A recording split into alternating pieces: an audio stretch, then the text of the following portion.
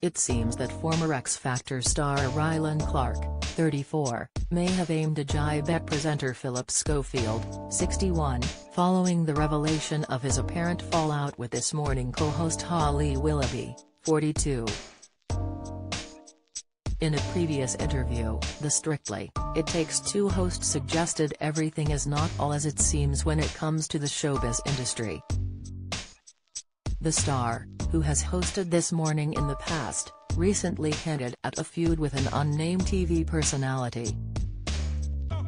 Given the recent news about a growing rift between Holly and Phil, however, it seems that the latter might be who he was talking about. Several of Phil's former co-stars, including GB News star Eamonn Holmes, have been aiming digs his way since the news broke, so it stands to reason that Rylan might be another celeb who has had issues with him in the past. Speaking previously to Waitrose and Partners Weekend, Rylan said, People can see through it all now.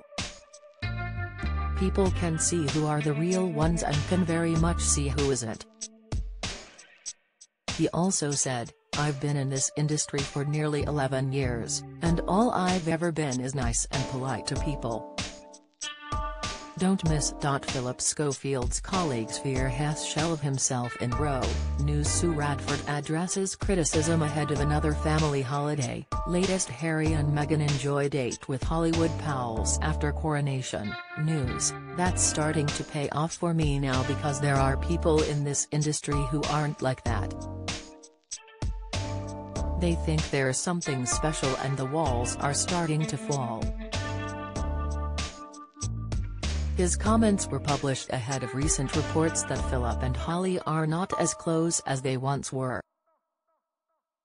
As reports continued to come out about mounting tensions in the This Morning studio, Phillip also released an emotional statement about his friendship with Holly, which reportedly left her feeling blindsided. Following the controversy, former This Morning presenter Raymond told GB News viewers, I think there should have been a special award for Phillip Schofield and Holly Willoughby for Best Actors. They may or may not be together on the tally today. The public surely will suss that Terry Snow chemistry, that it's a broken fit between the two of them and that This Morning does not depend on who presents it. It's an institution, it will carry on no matter who presents it and anyone can check the viewing figures, Terry's no difference between whether they present it or anyone else. Express.co.uk has contacted Rylan and Phillips representatives for comment.